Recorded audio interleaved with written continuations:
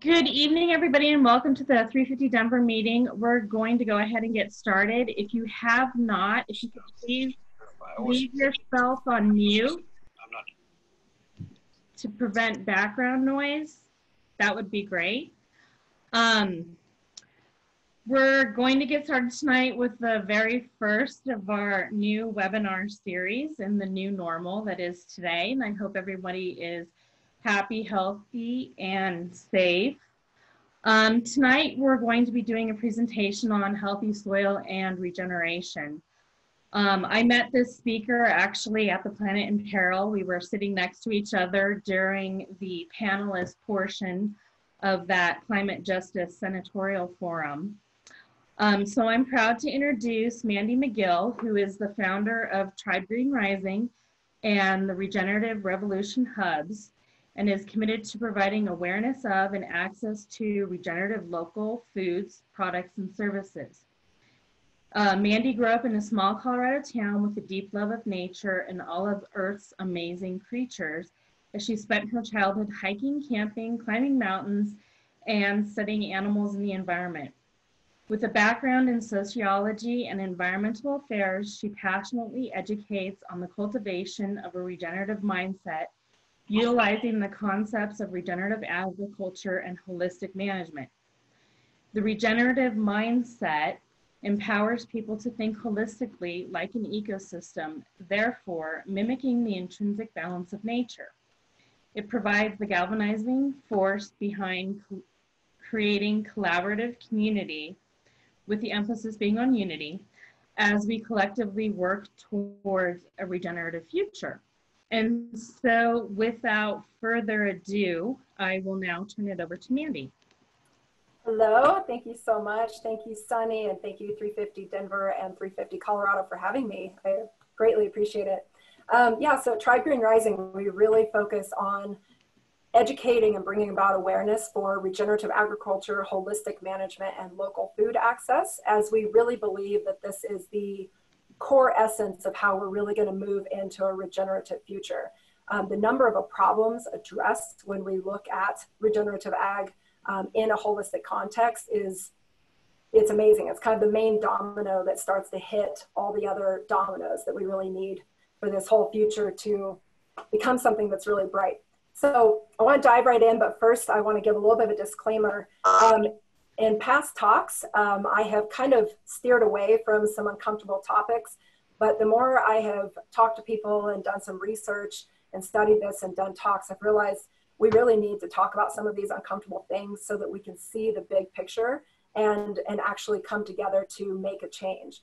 Um, but I'm gonna start off with something, something fun, which is how does nature actually work? I feel it's important to try to lay a foundation of some basic understanding so that we can kind of pull back and look at a bigger picture. And I don't think a lot of people really saw, you know, back in elementary or middle school when we had lessons on photosynthesis or the carbon cycle or, or anything like that, quite how important that was. But photosynthesis literally oh. important. Um, and so specifically in regards to soil regeneration and the action of ruminants, so grazing animals like bison, elk, um, cows, uh, that's the main points I want to focus on. So photosynthesis, a very basic definition is we have carbon dioxide and sunlight being transformed through green growing plants into carbohydrates and sugars that are then fed to all of these amazing underground you know, organisms and bacteria and life that's happening.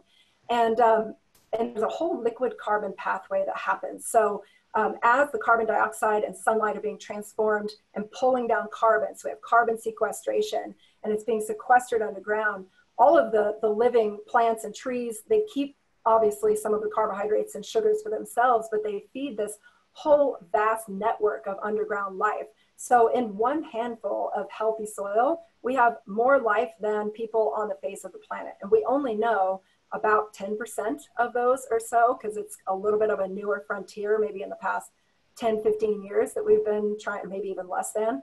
Um, and so there's, there's all this activity going on underground. And we have something else called mycorrhizal fungi. So it's fungus that actually attaches itself to the root systems of these trees and shrubs and grasses and plants, and it creates connections. So there's this whole transfer of nutrients and communication and water and this whole thing happening. So we have this vast amount of life just going on all the time underneath our feet, and we have no real idea about that. So I really think it's important to see this idea of, photosynthesis. Um, so healthy living soils, the microbiome of the planet. So when I think of like we we a lot of us now know about the microbiome of our own bodies, and when we have a healthy balance of gut bacteria, our own immune system works so much better. We have our digestion's working better. We sleep better. Our mood is better. It really regulates everything in our body. That's what healthy living soils are for the planet as well. So I see the entire planet as one body, and the amazing microbiome that surrounds it is healthy living soil. And through industrial um, actions on the land, we've really interrupted that, especially in more recent years, like the past 70 years. Um, but it's a really important aspect of keeping everything regenerating and ecosystems operating the way that they should. So I want to go into the carbon cycle as well with that. Um, everything in nature is circular.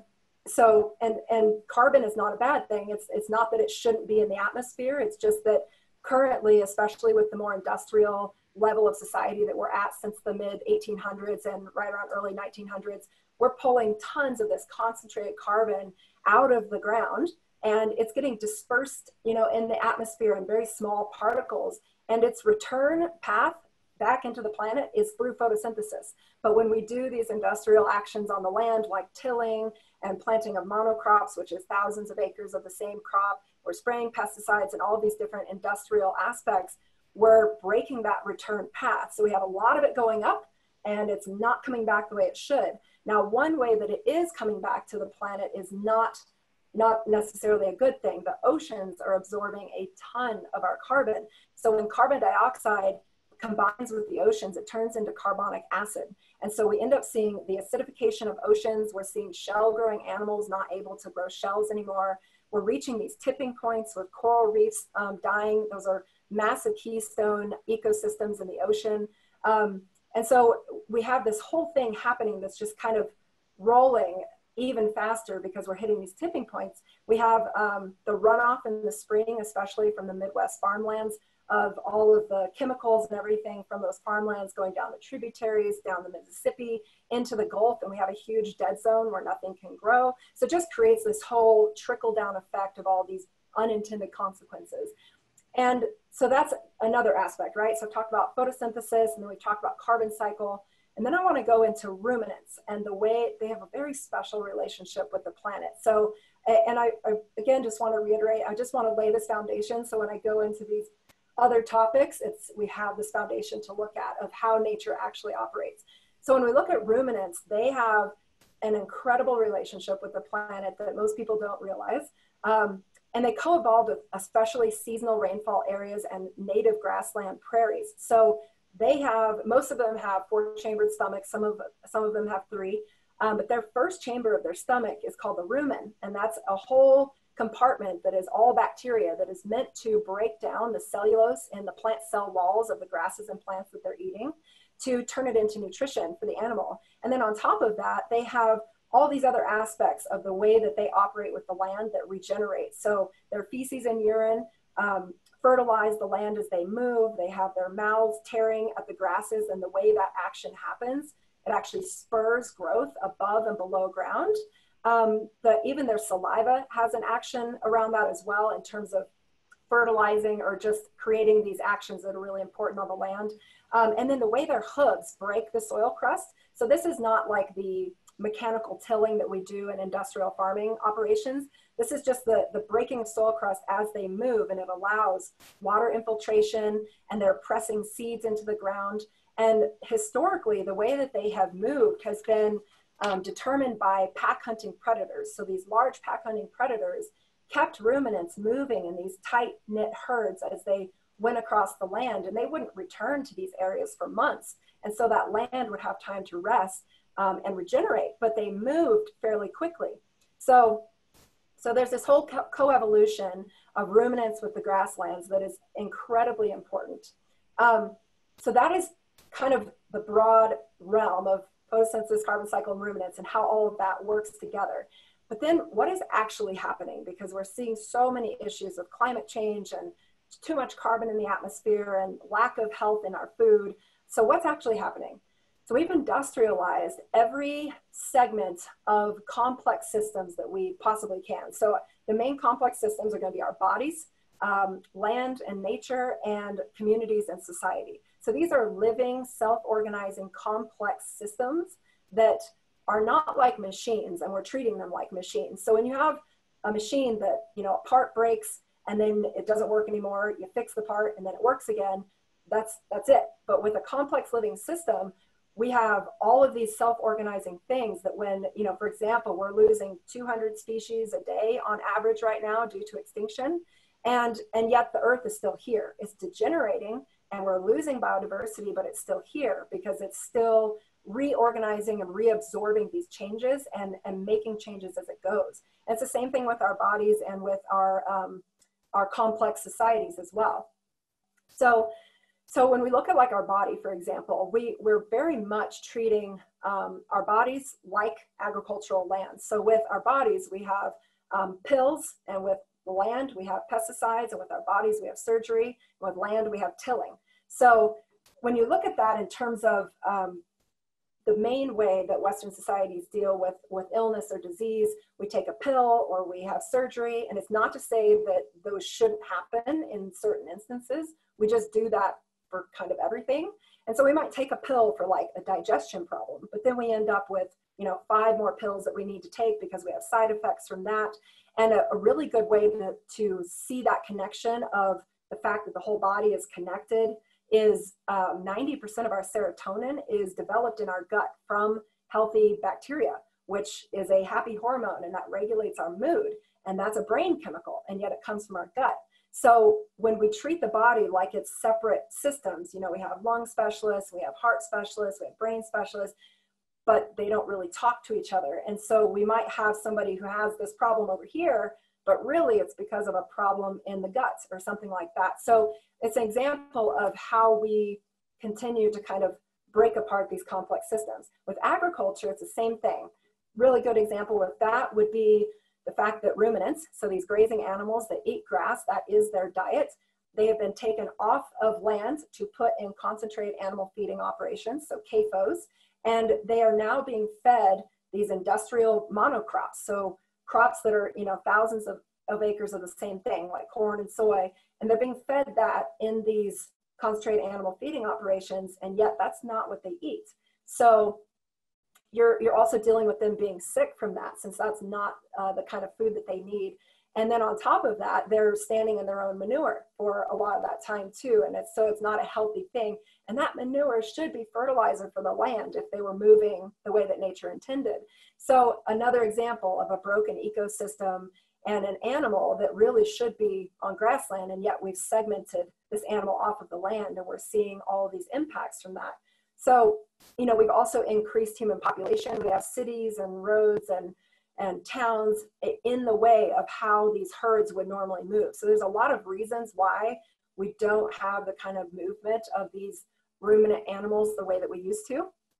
And in North America, there used to be over 50 species of large grazing animals and in huge numbers too. And now we're down to 11 and in much smaller numbers. So that's another impact. And so we're losing that connection of the ruminants with the grasslands and just in terms of that whole regeneration and the way nature operates.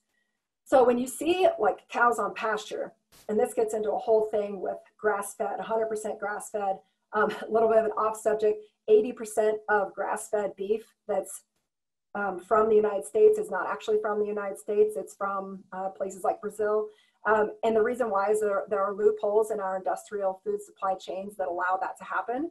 And so, you know, you go to a store and you buy 100% grass fed from America, it's probably not from America. And the way it's being grass fed, if you look out at a pasture of cows that are just all roaming all over the place wherever they want to go, they know what they want to eat. So they're going to pick the most nutritious grasses and in that way, the land ends up getting overgrazed and it tips it into desertification. So that's why so many of these areas that are outside of the more humid parts of the world, like along the equator, we're seeing massive desertification. So most deserts aren't normal and people don't realize that. We do have true deserts, but most are not normal. Sahara Desert is a really good example of something that shouldn't be a desert. It used to be a green oasis and now it's a desert and they, they are thinking that what happened is way back in the day, you had herders moving their animals in a way that they were thinking they should be moved or letting them kind of pick where they wanted to go. And that's what kind of created this cyclical aspect of the desertification of that land. So the Sahara Desert, which we all see as this iconic desert, shouldn't even be a desert. So those are another, it's another example of how we have broken these connections. So um, Earth's land area is upwards of 40% grassland and 70% of that 40% um, is desertifying. And it's a massive ecosystem and a keystone ecosystem, just like the coral reefs in the ocean. Um, we're losing 75 billion tons of topsoil per year off of agricultural lands, mostly off of agricultural lands. And it's due to erosion and runoff and just the water not being able to go into the ground for all these other um, industrial reasons of how we practice agriculture. And then another example is our communities and societies. So society industrialized heavily around the mid 1800s and we specialized our, our jobs um, and basically ended up outsourcing basic needs and human connection. And a couple of examples of that would be our food production. So we have a national and global food supply chain when we used to grow our own food. And we, we rate, um, a lot of us have to hire people to raise our children um, when we used to do that ourselves. So we've kind of, and I want to say, I'm not saying this is good or bad. I'm not placing judgment on that. I just want us to look at the dichotomy of what used to be when we used to grow our own food and we knew where it came from. Um, we used to be at home more and be able to raise our kids. Um, and so we've kind of gone into this level of industrialization where so many things are segmented in terms of food and land and nature and even our societies and the way that we work that we're seeing a massive disconnections and things breaking and degenerating as we go. Um, and it didn't used to be like this. You know, this is all part of a much larger societal mindset. Um, but we've been in it so long. You know, most people alive in the United States today were born into this. So we can't see the forest for the trees. You know, we're in it and we, we wouldn't know that there's a different way to be. Um, so I want to talk about why is all this happening? And it really comes down to mindset. So, and it's our collective mindset. It's not just one person. It's kind of this like overall collective mindset, especially of industrialized societies. And it's been like this for millennia, just like I was saying. And it's, um, we're re really seeing the culmination of these impacts now um, as they speed up. So we have the re a reductive mindset versus a regenerative mindset. And the reductive aspect goes back to what I was talking about with how we're treating complex living systems like they're machines. We're reducing complexity down to simplicity. So it's kind of like that band-aiding notion, like oh, there's a problem over there and we'll patch it up with this. And oh, now there's, you know, seven other problems over here. We have to patch those. So that's where we start to see that when you pull on that one thread, everything else moves. And so it, we, but we continue to do this kind of stuff. Um, and it's, it's not about blaming any, anyone or any system. This thing it has been going on forever and it's been kind of building on itself. And the industrialization of agriculture really um, gained a lot of momentum and got really cemented in our in the United States when Earl Butz uh, was the U.S. Secretary of Agriculture back in the 70s, and his big mantra was "Get big or get out." And the idea of that was, you know, a lot of these small family farms just started getting absorbed into these bigger and bigger farms that have become these industrial corporate owned farms. And that's where we're starting to see all of the degradation of the land when it didn't used to be like that. So we don't even realize that it's happening. Um, another aspect is that only 1% of US farmland is or is certified organic. And of that 1%, most of that, I would say 90 plus percent of that is uh, industrial organic. So even organic in and of itself can be still degenerating on the land and in terms of our health as well, um, because it's being done, is being raised in this industrial way. So so I want to go over just a couple of examples of how this kind of mindset, when we have good intentions, it still ends up hurting the thing that we think that we're fixing. So I see a lot of stuff on Facebook right now, well, have been for a while, of people switching from dairy to almond milk. Well, a couple of things that aren't known about almond milk. I mean, the biggest thing is where is it coming from? And is the way that the almonds are being grown, is it mimicking nature? And the answer is no. Um, mostly these are coming from conventional almond orchards in California. They're being sprayed with pesticides because it is a monocrop. And bees are being shipped in from thousands of miles away to pollinate these crops.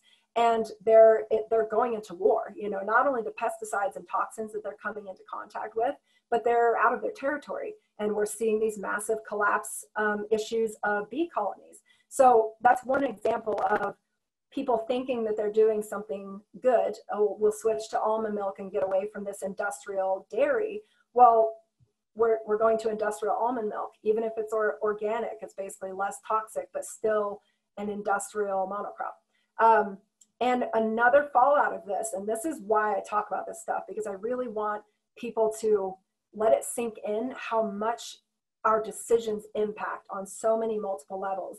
And the issue that's happening right now is because there has been no ability for industrial dairy farmers to transition um, to doing something that's more healthy, uh, we're actually seeing a rise in dairy farmer suicide because they didn't they didn't have an ability to switch. So the rug is just getting pulled out from under them, and and so that's a massive impact right there that that was not intended, but it's happening. And already farmers um, are double the current rate of suicide in the United States. And these are things that are not talked about, but it's things that need to be known.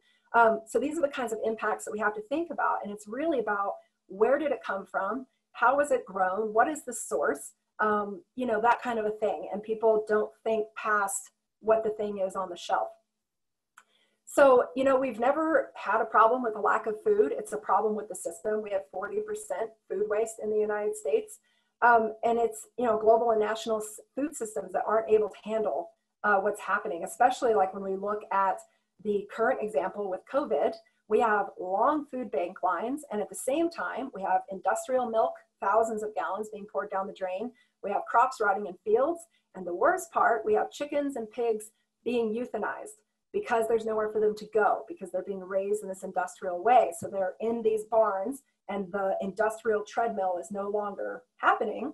So for a bit of time, uh, they were feeding them soy hulls.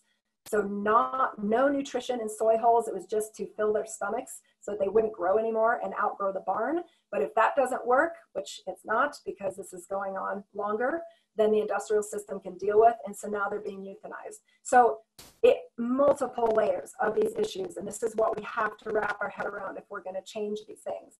So I feel it's important to, oh, I do want to say one of the big um, mantras that is said by the, you know, the huge global food system giants is we have to feed the world.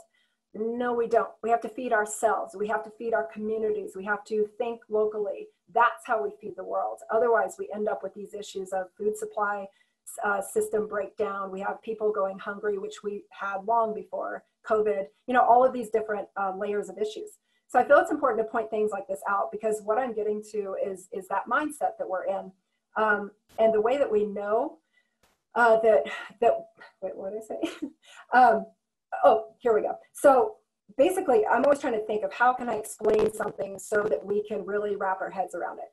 If you told me, okay, we have a new planet Earth that's completely perfect, all the ecosystems are in balance, we're all going to move there we would still destroy that planet. And it's because of our mindset. So that whole notion of like, let's not fix this one, let's not think about why it's breaking, let's just go to the next planet. It's that doesn't really work because we are still in that reductive mindset.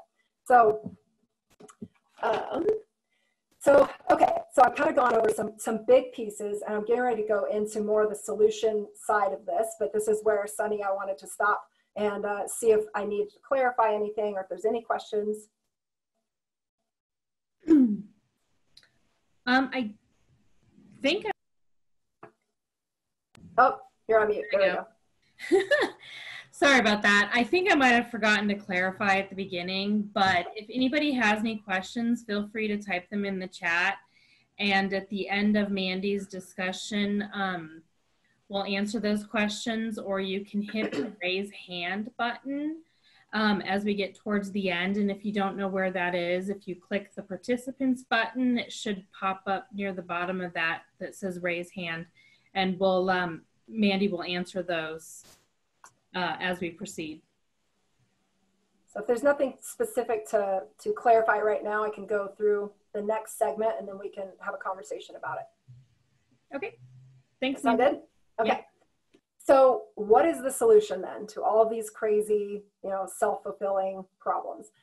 We have really we're moving into more of a holistic context, a regenerative mindset. It's collaborative and it's looking at the big picture. Um, so what's an example? Let's look at regenerating the land. How do we regenerate land? Well, the biggest one is getting ruminants back on the land. And it's not just about putting ruminants back on the land. It's about having a way of looking at the system that you want to regenerate, the land you want to regenerate, and, and having a system for how to plan so that it does regenerate the land and doesn't have those unintended consequences. Um, so I want to focus on that because remember back when I talked about, you know, the, the way that their hooves break the soil crust, that water infiltration, all those different actions that actually regenerate. There's ways that regenerative farmers and ranchers move um, move ruminants so that they actually regenerate and it basically mimics mimics exactly how they used to move back in the day when it was the pack hunting predators that kept them tightly knit and moving along. So they use electric fencing and they basically are able to move these paddocks. So they have them on that land for a couple of days and it's depending on you know the time of year and how much the grass is growing and how much you know rain and all those things for uh, the kind of nutrition that those animals are getting, but then they move them on after like a day or two. Um, and as they move them, they're not going to bring them back to that paddock for a while because that that land's going to regenerate. And it's going to have this burst of growth. So it's this way of farming that that basically tries to deal with this larger issue that we're seeing of of desertification and all the issues with the industrial side.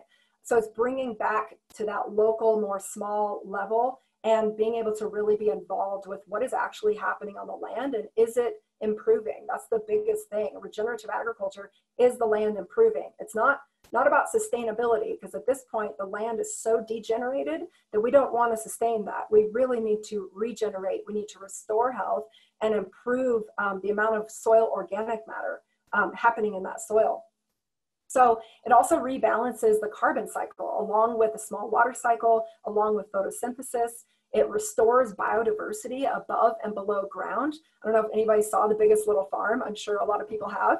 Um, but that, you know, you saw over the course of years that they were bringing life back to that land, just this explosion of biodiversity and everything regained balance. You know, I remember the part where it was like all the snails on the trees i think it was and they brought in the ducks because they love the snails you know? So it's they were they were just thinking okay holistically how do we think about this? Instead of poisoning all these snails there's got to be a better way and there is because nature finds balance. That's the natural balance of nature.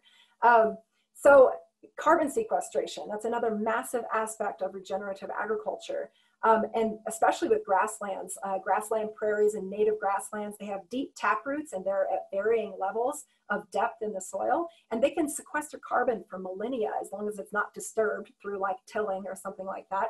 Um, and what's amazing is for every 1% of soil organic matter that's added to a piece of land through these practices, so that's more carbon, that's more soil life, you can hold an extra 25,000 gallons of water on that land. So that is drought, flood, and fire resistance. And we're seeing all of the issues with wildfires. This is a solution. This is the solution in my mind. So you, you're able to sequester carbon and you're able to have more water holding capacity, which deals with so many of these other issues. Um, I want to bring up uh, White Oak Pastures. So I was just there in February with my husband.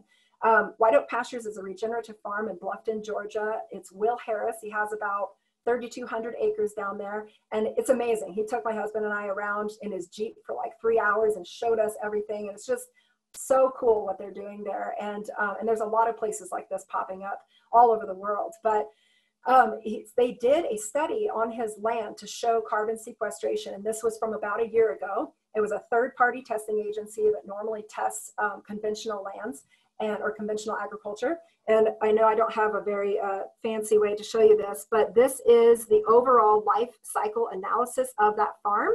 If you can see that, So it goes through like all of the actions that are happening. And at the end, you end up with a negative 3.5%, um, which is negative carbon. So like out of everything, like yes, there is carbon release, there's methane, all of these things that do happen, but because of the ecosystem working the way that it should and everything in sync in that ecosystem, you end up with a negative action in terms of what, which means it's positive, but you end up with negative 3.5% carbon and that's uh, per pound of beef.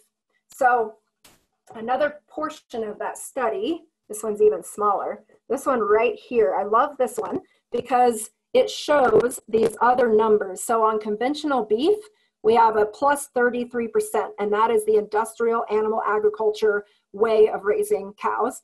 Plus 33% on pork, we have plus nine. On chicken, we have plus six.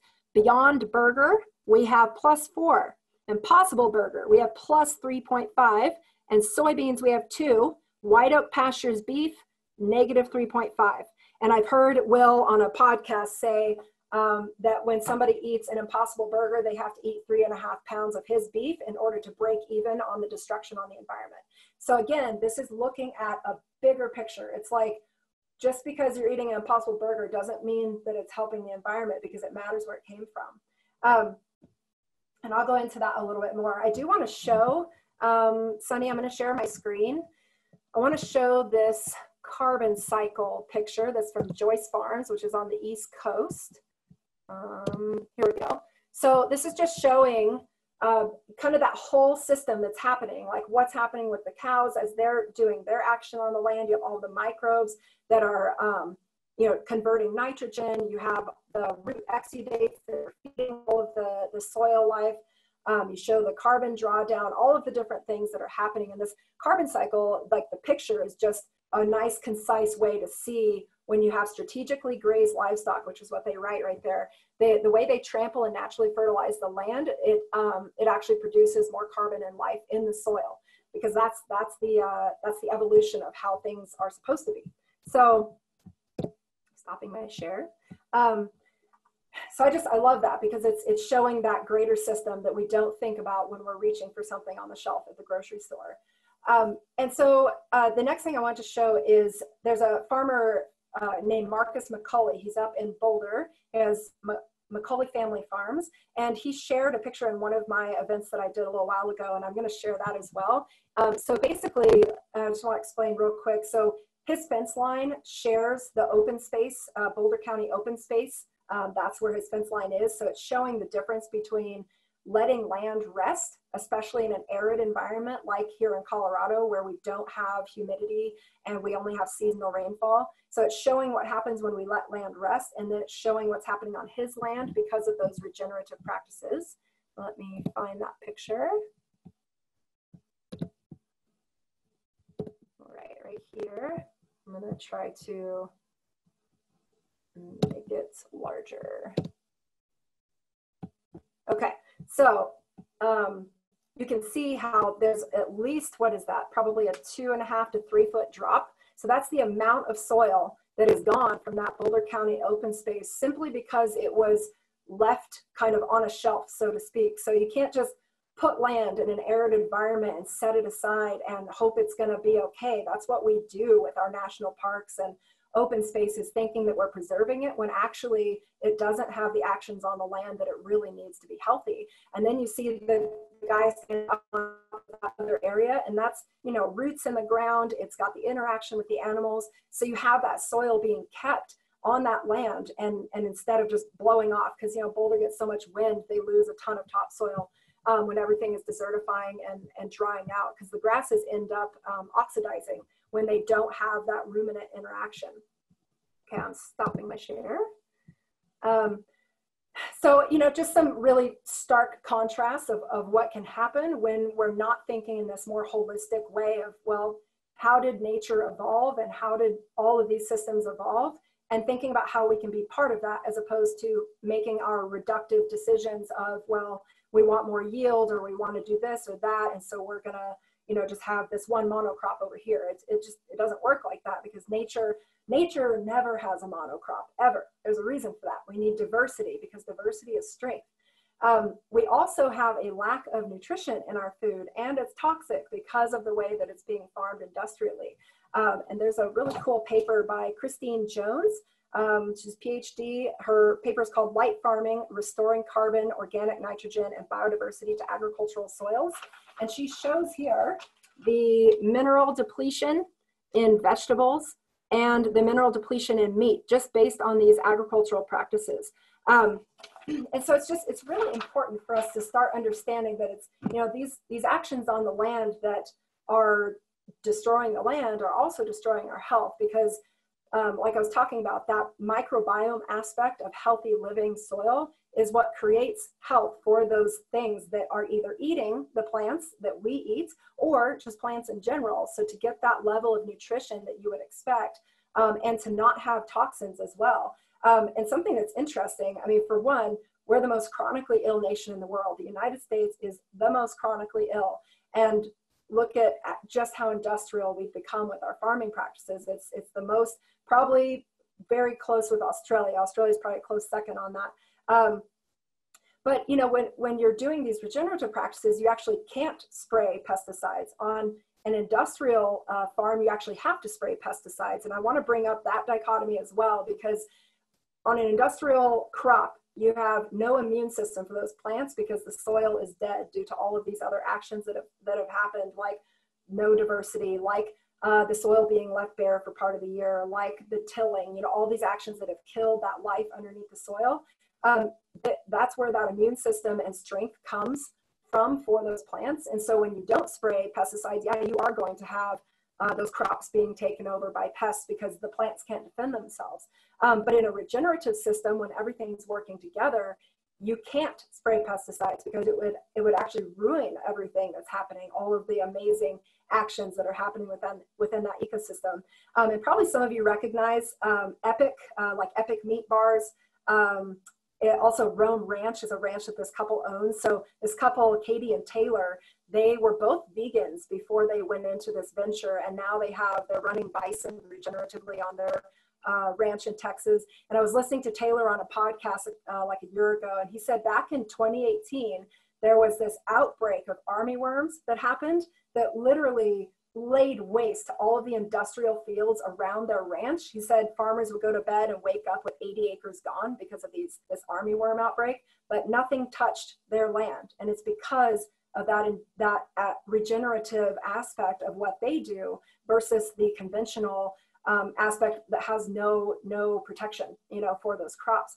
So again diversity is strength. That's why nature operates that way it also takes the burden off of oceans when we go to this regenerative model we're no longer losing topsoil and chemicals you know going down the waterways and ending up in the ocean um, we're sequestering carbon on land, so we're no longer burdening the oceans with having to sequester more carbon than they should be. So it really is just one of those things that's kind of that, um, what would you call it, I guess a hinge pin of what flips this entire thing. It's like a 180 degree flip when we focus on especially regenerative local food, but it also goes to products and services as well. Um, so when we look at the, the root cause to find the root solution, it's our, it's our mindset. It's how we're thinking about things. So we flip our thinking, we flip our mindset to this expansive, collaborative, more inclusive, context-based way of thinking. And we've never done this before. I mean, this, this has been hundreds of thousands of years, more like millions of years, that we've been in this more reductive way of thinking of doing something and that's the action as opposed to taking in the full context. And what I really love, probably some of you have heard of Alan Savory. Um, this is his book, Holistic Management. The subtitle is A Common Sense Revolution to Restore Our Environments.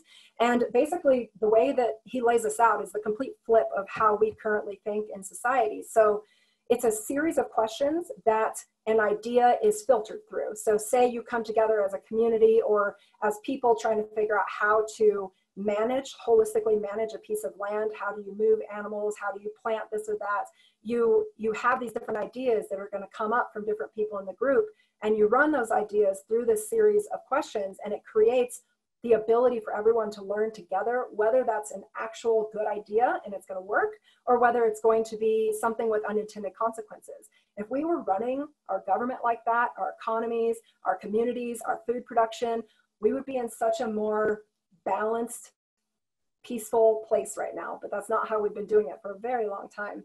Um, so yeah, really, it, and he's, you know, he's really shaped a lot of my thinking because it's, that was kind of the last piece for me as I studied a lot of this. And this is not something that, uh, you know, we learn in school to this level at all. It's, it's something that when you start to peel back these layers and you start to realize like how huge this thing is and the fact that really we are the, we are the center of this thing, that humans are the only thing on the face of this earth that operates outside of natural systems then you start to realize that, that we are that common denominator and it comes down to our thinking and how we operate in our societies and with the planet.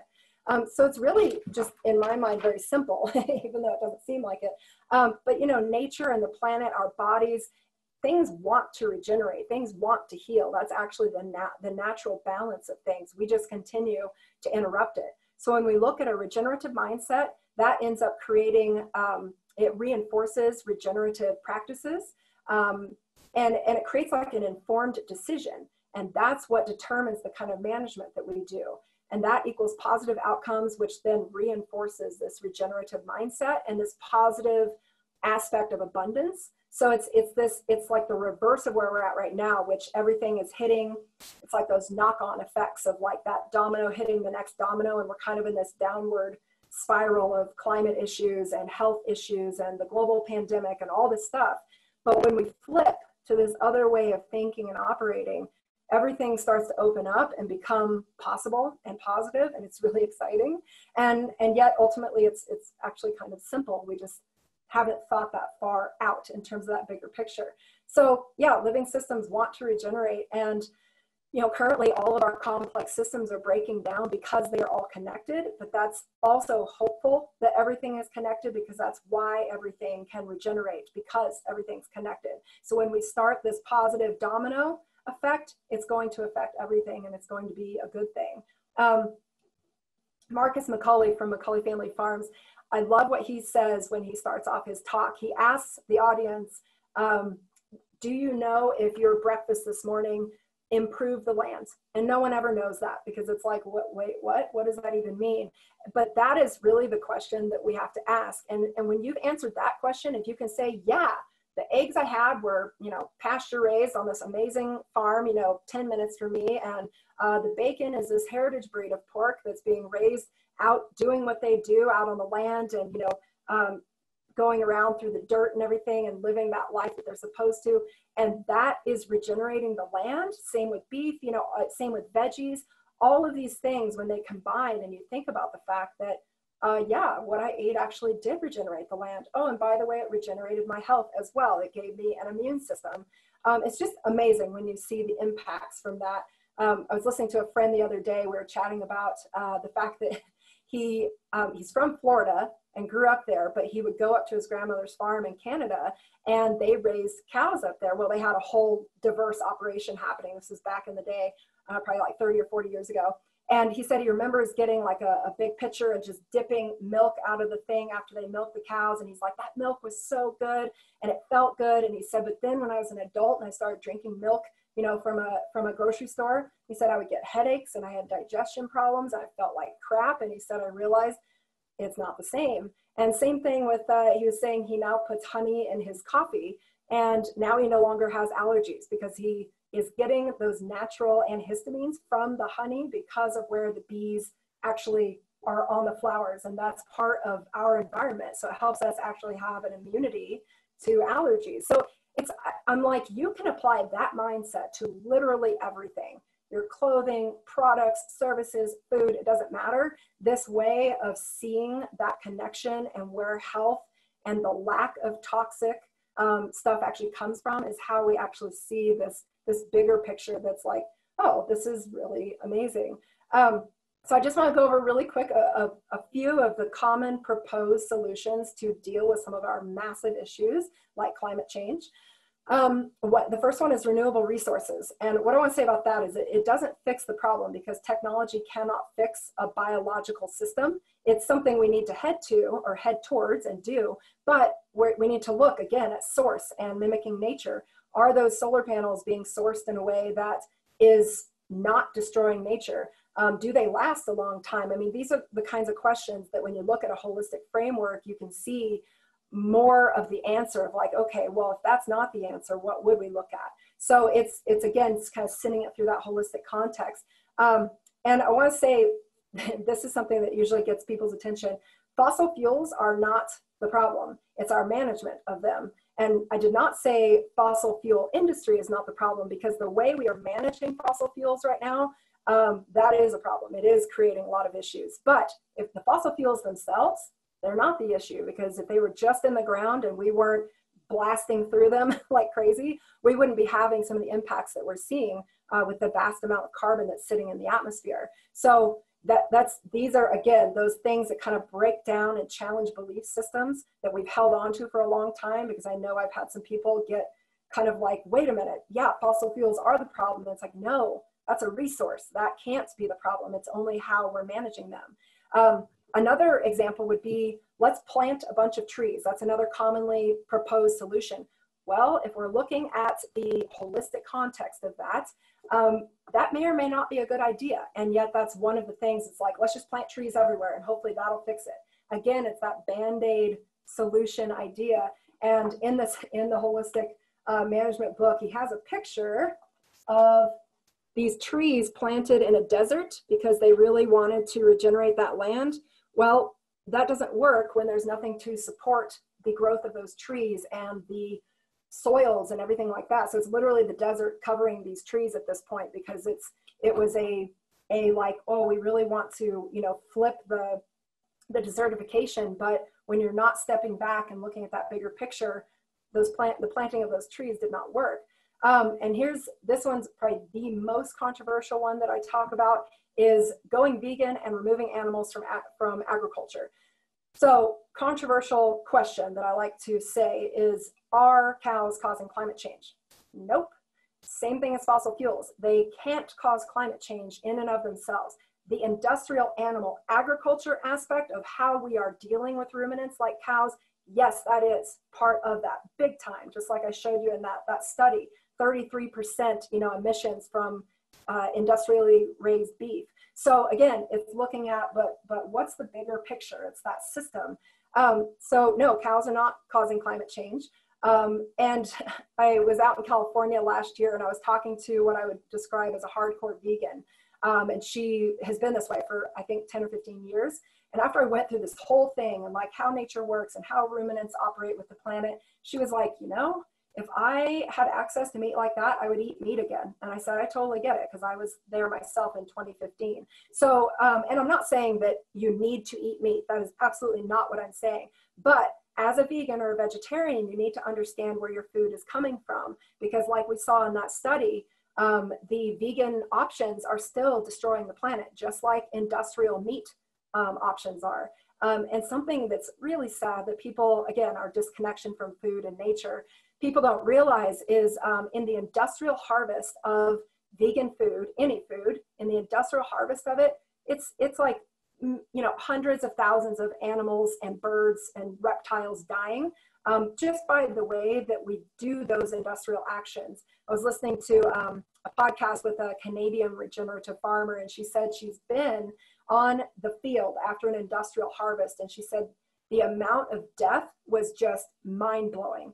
And so, again, where is it coming from? What is the source? And is it mimicking nature? That's literally the only thing you have to ask yourself. And then everything else falls in line. By doing that, we're dealing with climate change. We're dealing with carbon sequestration. We're dealing with de-acidifying the oceans. We're dealing with animal welfare. We're dealing with our own health issues. We're dealing with uh, soil health and water holding capacity and wildfires. I mean, I know it, I know it's a lot, but this is why I said at the beginning, I'm going to talk about some things that might kind of get your blood boiling a bit, but it's what we have to do when we're thinking about how do we actually get to the bottom so that we can, you know, this common ground so that we can actually come together and make these regenerative, holistic, collaborative decisions about how to do things because that's what's going to flip this whole thing. So, final thoughts just over the years as I've been studying and speaking on this, I've realized that when people really understand how nature actually works and what photosynthesis actually does and that our life actually depends on these things um, that's when they start to realize like huh like that same friend who was talking about the, the honey in his coffee and the, the milk at his grandmother's, he was like, you know, I spend top dollar on my camping equipment. Why would I not spend top dollar on the food that literally nourishes my body? It's those kinds of questions that we need to ask ourselves because it's kind of like sleeping on a crappy mattress. It's like you're going to have a bad day every day if you're not sleeping well. Um, same thing with your food if you're not nourishing your body. So, you know, there's a lot of aspects I could talk about with how to do this regenerative transition with food access for food insecure people with food deserts, um, you know, all that kind of stuff, but that goes into another whole realm, but it is possible and it is a transition. It just, it's going to take a little bit of time and it's going to take a lot of collaboration and empathy and understanding truly how nature works so that we can all come together in this common ground. Because the reason why we want that holistic context and that holistic framework to make these um, collaborative decisions is because everyone's always going to have a different idea of what they think should be done. You know, be a vegan, don't be a vegan, plant trees, you know, till this land, do this regeneratively. But when you filter them through that holistic context, that is what is kind of that um, common ground and evens everything out so that it's no longer fighting about our beliefs or fighting about our opinions. It's about looking at that bigger context of like, well, we all want the same thing. We all want health. We all want a safe place to live. We all want the environment to be good and healthy. We want something for our, our kids and future generations. How do we do that? That's the question that needs to be asked. So, you know, we're the most disconnected from nature that we've ever been, especially the past 70 years. And it's, it's why the destruction of our planet is picking up speed, is that disconnection. Um, and so we finally need to realize we are not separate from nature and we need to reintegrate back in with nature and really think about this because it determines, you know, things like how we build homes. You know, is that regenerative? Is that thinking about the ecosystem? We're just, we've gone so far down this industrial path that it's like, how can we start changing these systems? And I think food is the number one place to do this because it has such a massive impact on the environment and has such a massive impact on our health, which helps us think more clearly when we feel good. And then we're able to do more things that move us in this regenerative direction. So um, a quote that I really appreciate is by Albert Einstein. We cannot solve problems by using the same thinking we used when we created them. So it's, it's that regenerative mindset. It's obtaining this whole way of thinking through mimicking nature. And it's the kind of mindset we need in order to create the kind of world that we want together. I, I do believe it's that simple. So together we must choose to do something different and we must choose to do something um, better so that we can create something better. I believe that we can quite literally create a regenerative paradise. So that's kind of the, the element that I wanted to get out there and, and now we can start kind of having some discussion because I'm sure people have some ideas.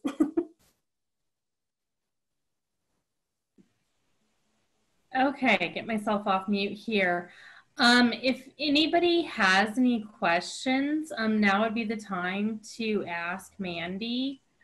Um, if you could just raise your hand. And again, if you click on the participants button on the bottom of your screen, it'll pull up another screen and there should be a raise hand button. So just put your hand up there. Or if you can't find that, go ahead and just put a star in chat. Or if you want to, just type your question in chat and I'll read it off. Um, Anne, I see you have your hand raised, so we'll start with you. And don't forget to unmute yourself when you ask your question. okay. Um, my question for you, Mandy, um, I really appreciated your um, presentation. And what was going through my mind was if I wanted to participate in this more regenerative, holistic uh, mindset and pattern of living, what what kinds of things could I begin doing immediately that would help, um, you know, myself and the planet move in that direction? Yeah, so if we're focusing on that food sourcing aspect, um, I have, and actually, uh, Sunny, we could, I could put this in an email that you could send out to all the participants. But I have a lot of places that I recommend, um, especially around Colorado, that are doing these regenerative things. And um, one of the food, we actually have a food delivery um, uh, thing that we use called Kristen's Farm Stand. Um, and she only works with regenerative farms. That's it. So it's like she'll stay as local to the front range as she can. But um, if she can't find a regenerative X, Y, or Z, she will go out to the next realm. And I know she gets regenerative lamb from Gunnison, from a 16 year old uh, female rancher up there. Um, so it's, I, I, think it's really about starting with that food aspect. And a lot of the food that my husband and I eat, we really do um, order from these kinds of places or um, have like a community supported agriculture thing where we can actually you know, do a pickup situation or something. What, can you repeat the name of that? Uh, yeah, uh, Kristen's Kristen's Farm Stand. And you can just go on her website and uh, it's super easy too. It's like a, you can just go through and shop and the deadline is Monday night and then it's delivered that week and it's in reusable bags and then you put that out for the, the next time you get delivery. So nice. Now yeah. is that Kristen with K R I S T E N? Okay. Yep. yep. All right. Thank you. You're welcome. Thank you, Anne, and thank you, Mandy. Um, the next question is from Liz. And the question is, how can the transition take place from industrial farming to nature-based farming? Yeah, so that is one of those things where we kind of get into those different levels. So when we're looking at people with the finances to spend a little bit more on food, um, it's supporting local regenerative farms, um, those community gardens that are doing things like I know Frontline Farming is, is one that's working on healthy food access, but also is doing these more regenerative practices. Um, and I'm always thinking in terms of like, you know, how can we do that on the level of people who have those finances? And then what are organizations that are working on healthy food access in these kind of more food desert scenarios? Um, and there's GrowHaus um, up in Denver that does a great job.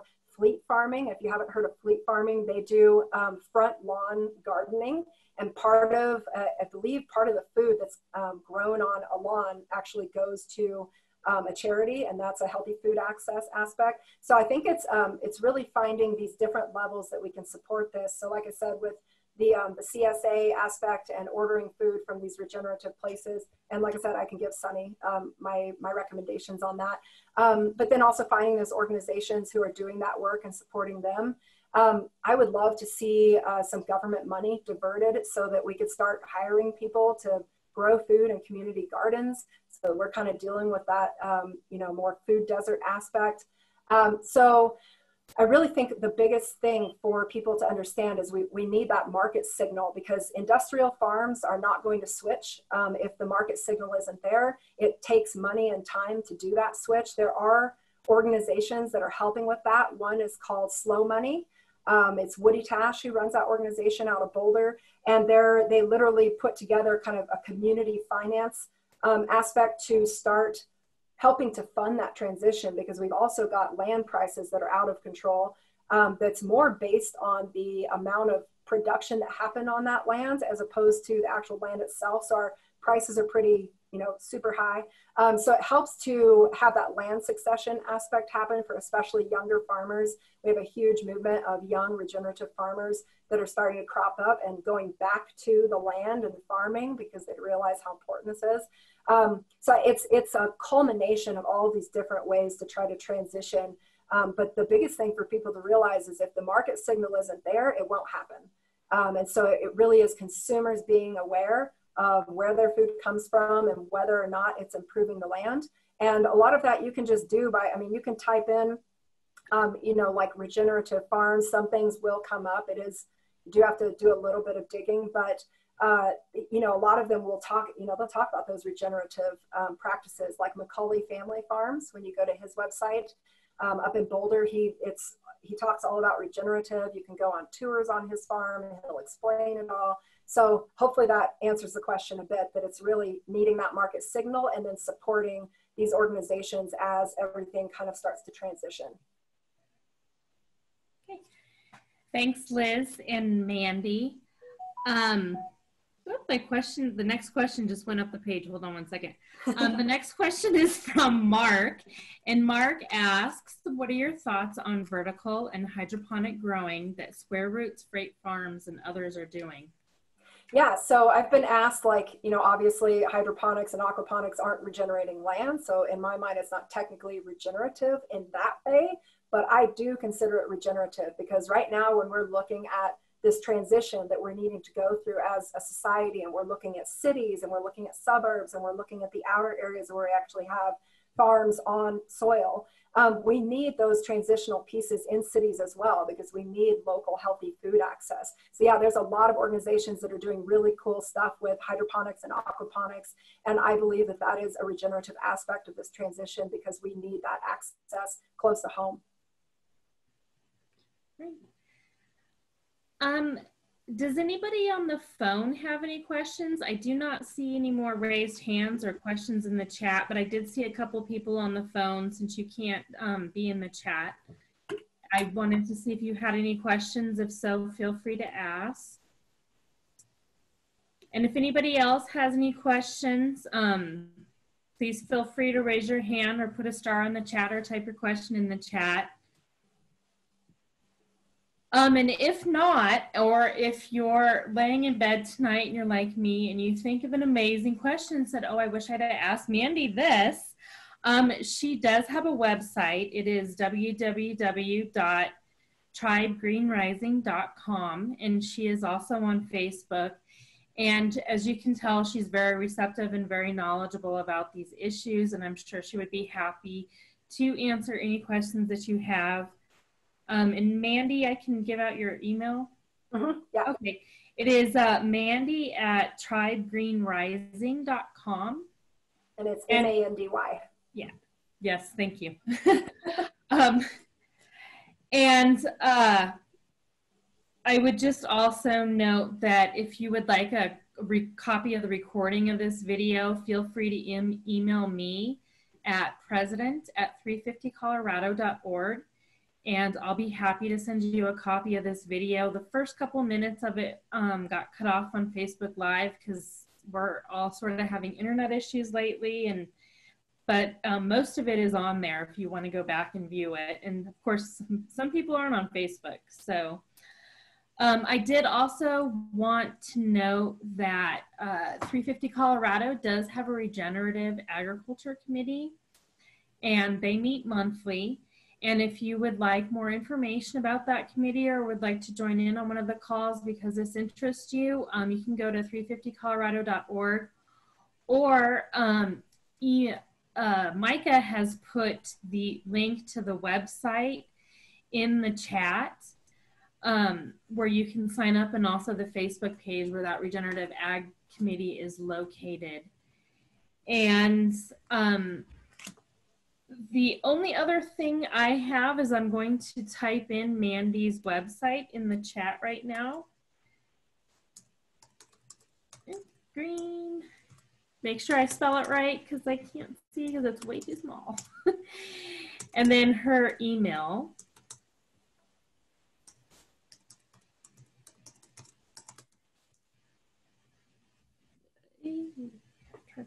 Okay. So if you, both of those are now in the chat. If you would like to get more information or for any reason you miss it, um, please feel free to email me. Um, I don't see anybody else with their hand raised or any other questions. I so, will also say, if you don't mind, Sunny, that uh, yeah. Michael Alcazar, who talks to us fairly regularly about various things, is also a permaculture designer, which is another form of regenerative ag. And uh, he is perfectly happy to you know help you set up gardens in your house uh, you know your neighborhood your house whatever um, so that you can be sort of a personal part of this transition in terms of you know localizing to the maximum extent possible if you'd like. And i am happy to connect you with uh, michael if you'd like. Um, i'll put my email address in the chat for anybody who would like to reach out to me. Thank you. Okay thanks amathia um, the only other thing of note is that um, 350 Denver is still having its local meetings. Um, they are going to continue on Zoom for the time being. Um, so just watch your emails for the next meeting. I'm not quite sure what the topic is, but we will be um, here at your computer the first Tuesday of every month. And also 350 Colorado is still actively engaged in a lot of projects um, despite a shut-in or a lockdown. Um, so please watch your emails for actions that you can take from home or things that you can do from home. And there's also a bunch of awesome um, webinars that are going around that you can do from home as well. And um, thank you, Liz. Uh, we would also like to note that today is Giving Tuesday. So if you are able to, we would certainly appreciate um, a donation. And that donation can be made at 350colorado.org on our website. Um, we are a grassroots movement, so all of our money comes from donations from people like you. And without you, um, we don't get to do fun stuff like what we did tonight. Um, and also all the actions that we've done in the past and will continue to do in the future. So if there are no more questions, I just want to thank everybody for coming tonight. We really appreciate you having here and also want to thank Mandy so much for her wonderful presentation. That was awesome and we are so glad that uh, you could be here to educate us on healthy soil and regeneration. Thank you. I very much appreciate it. That was super. Thank you, Mindy. Thank you. Thanks everybody and have a good night and stay safe. Night. Good night. Bye, everyone.